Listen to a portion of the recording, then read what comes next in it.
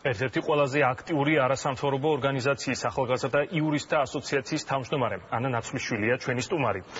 ანა, მოგესალმებით, დიდი მადლობა რომ კიდევ ერთხელ ჩვენთან ერთად ხართ. მოგესალმებით, გიორგი.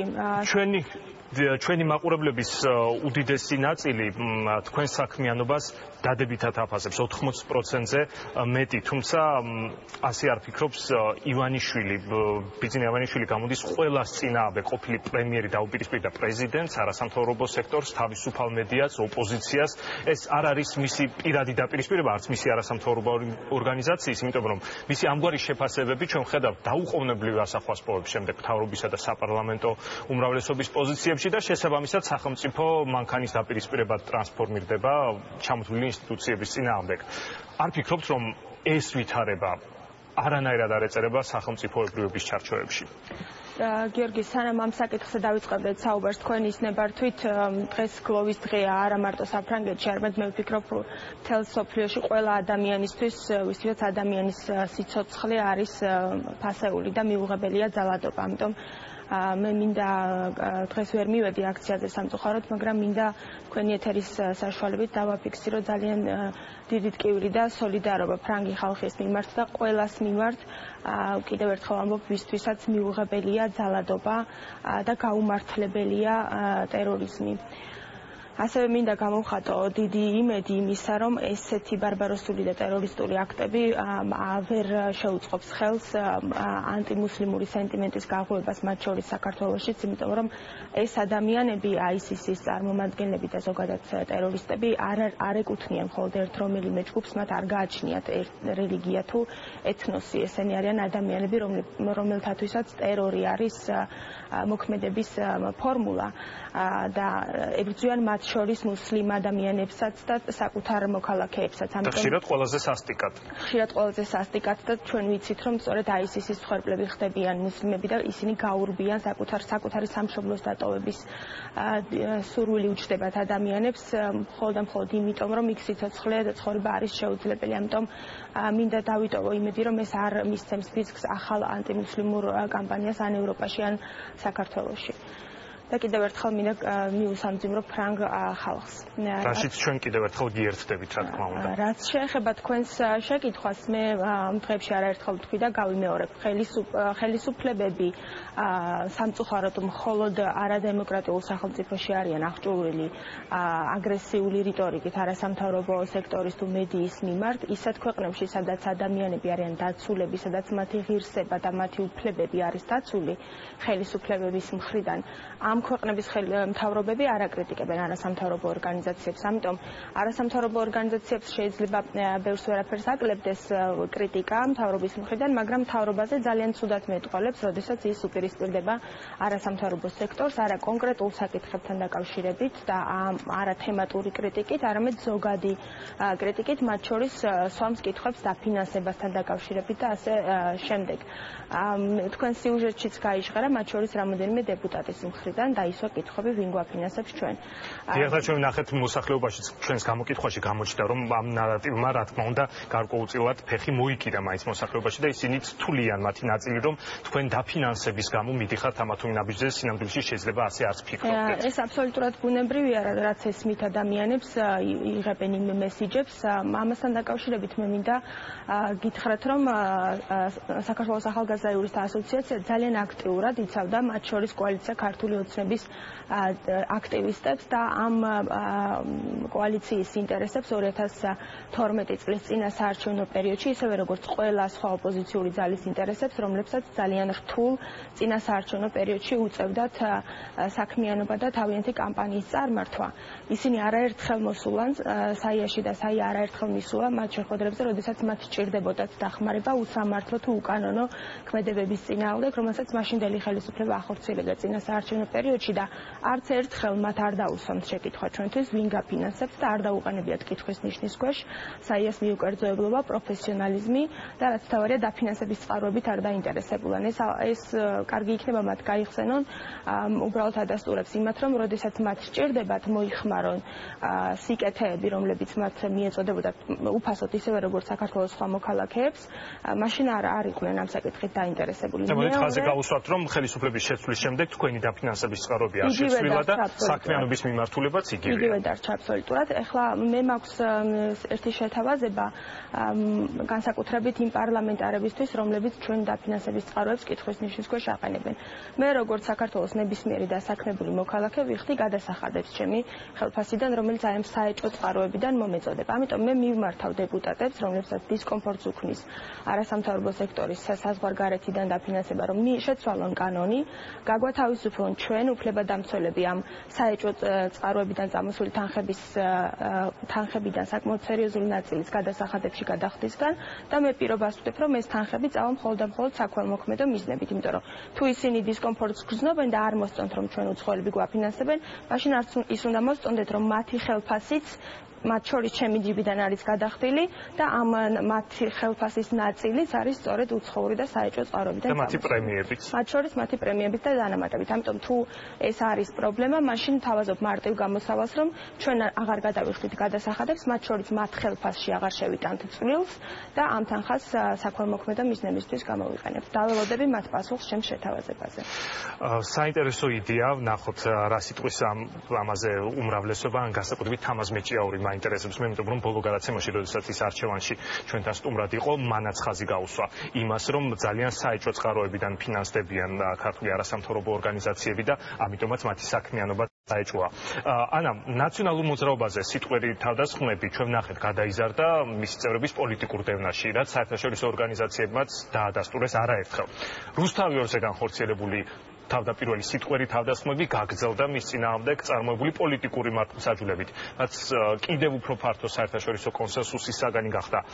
უნდა ველოდოთ თუ არა აქედან გამომდინარე არასამთავრობო სექტორზე და პრეზიდენტზე მიტანილი სიტყვიერი ერიშების უკვე ასე ვთქვათ საქმიან პრაქტიკულ გაგრძელებასაც და რა შეიძლება ამას დაუპირისპიროს საზოგადოებამ თუ ეს მართლაც ასე მოხდება.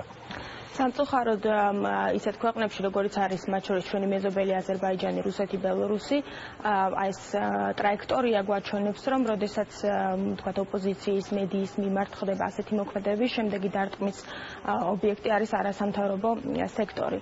მაგრამ მე საქართველოსში პრაქტიკულად გამოვრიცხავ ასეთი სცენარის განვითარებას, იმიტომ რომ საქართველოს საზოგადოება ყოველთვის იყო ძალიან აქტიური და სამოქალაქო სექტორი საქართველოსში გაცილებით უფრო ძლიერია ვიდრე რომელიმე სხვა ქვეყანაში პოსტსაბჭოთა სივრციდან ამას აღიარებს ყველა, მათ შორის ძალიან ბევრი საერთაშორისო ექსპერტი და პარტნიორი, ამიტომ მე შეიძლება ბუნებრივად ველოდეთ უფრო გამძაფრებას კრიტიკისას და შეტევასაც, მაგრამ პრაქტიკულად გამოვრიცხავ, რომ ჩვენთან განვითარდეს აზერბაიჯანული ან რუსული სცენარი. ანუ თქვენ ამბობთ, რომ ეს სცენარი არ გამოვა, მაგრამ არ ამბობთ, რომ თავრობას შეიძლება ამის სურვილი არ ქონდეს. შეიძლება თავრობა მოინდომოს კიდევაც, მაგრამ არ გამოვა.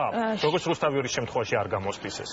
შეიძლება თავრობაში გარკვეულ პირებს ჰქონდეთ გაცილებით უფრო შორს მიმავალი იდეები იმის შესახებ თუ როგორ გააჩუმნა არასამთავრობო სექტორი, ვერ გამოვრიცხავთ განსაკუთრებით იმ რიტორიკის გათვალისწინებით, რომელიც ისმის, მაგრამ მე როგორც ამ ქვეყნის მოქალაქე და როგორც არასამთავრობო ორგანიზაციის წარმომადგენელი ფიქრობ, რომ ძალიან სერიოზული რესურსი აქვს არასამთავრობო სექტორს და ამ ქვეყნის მოქალაქეებს იმისათვის, რომ ასეთი სცენარის განვითარება არ დაუშვან. თქვენის ნებართვით, გიორგი, მინდა თქვენს სიუჟეტსაც გამოვეხმაურო, სადაც ძალიან კარგად იყო და დეტალურად აღწერილი ის თუ რას აკეთებდა არასამთავრობო სექტორი და ძალიან ბევრი ცნობილი არასამთავრობო ორგანიზაცია ცნობილი 9 წლის განმავლობაში, იმიტომ რომ ერთ-ერთი მთავარი არგუმენტი, რომელსაც ჩვენ ძალიან უსაფუძვლოდ სხვათა შორის გვიყენებენ, იყო ის არის ის, რომ ჩვენ თითქოს 9 წლის განმავლობაში დუმდით და არაფერს არ ვაკეთებდით. მე მინდა საზოგადოებას, რომელსაც შეიძლება ასეთი შთაბეჭდილება რჩებოდეს, გავახსენო ორი რამ.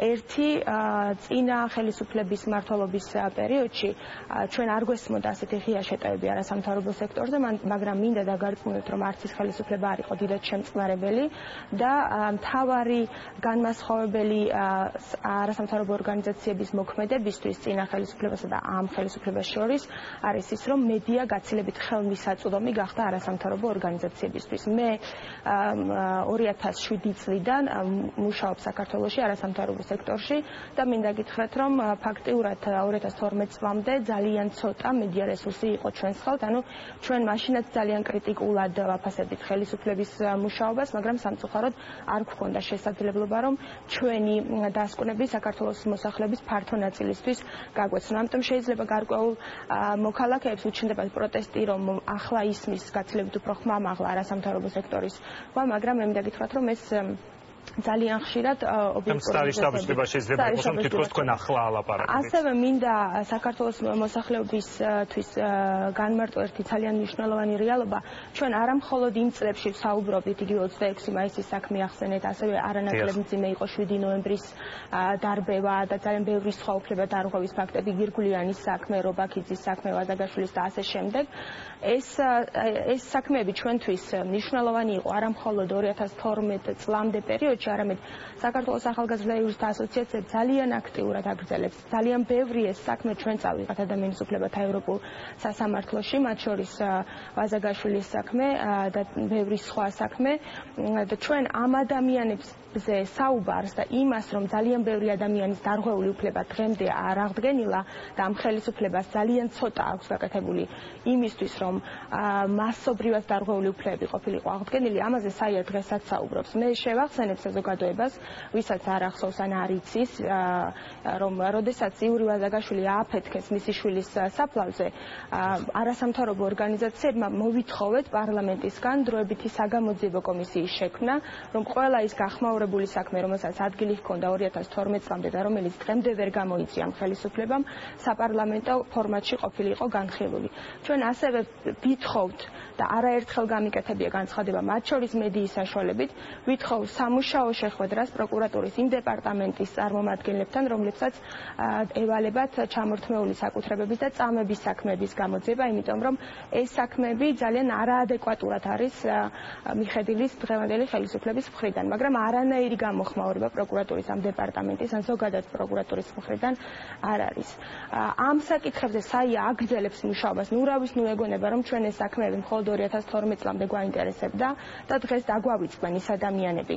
მე ძალიან გამეხარდა ორი დღის წინ გამოვიდა გამოქვეყნდა გაერო სპეციალური მომხსენებლის ანგარიში წამების საკითხებზე, რომელსაც მე შევხვდი მარტში ამ წლის და ძალიან ბევრი ვესაუბრე როგორც დღეს არსებულ პრობლემებზე სასჯელ აღსრულების სისტემაში, ასევე ძალიან ბევრი ვესაუბრე იმ ადამიანებზე, რომლებიც დღემდე ელოდებიან სამართალს იმ ნაწამებ პატივაყრელ ადამიანებზე, რომელთა ნაწილი დღემდე ციხეში რჩება და ძალიან სერიოზული ფიზიკური და ფსიქოლოგიური ტრავმები აქვთ ამ ადამიანებს, სწორედ იმ სისტემური წამების გამო, რომელიც ხდებოდა საქართველოში. და ძალიან გამეხარდა, როდესაც ვნახე სპეციალური მომხსენებლის ანგარიში, სადაც ძალიან სერიოზული აქცენტებია გაკეთებული იმაზე, რომ ხელისუფლებამ ბოლომდე უნდა მიიყვანოს სისტემური წამების გამოძიების ფაქტები, მაგრამ სამწუხაროდ ძალიან ხშირად აგრესია მოდის არასამთავრობო სექტორის მიმართ და არა ხელისუფლების მიმართ, რომელიც დაპირდა ამ საზოგადოებას, რომ მამუფლებებს აღადგენდა და დაპირდა, რომ გაცილებით უფრო მაღალ სტანდარტს დაამკვიდრებდა ადამიანის უფლებათა დაცვის, მაგრამ თელ რიგ საკითხებთან მიმართებაში ისინი ან ვერ აკეთებენ, ან არ აკეთებენ ამას და შემდეგ უკვე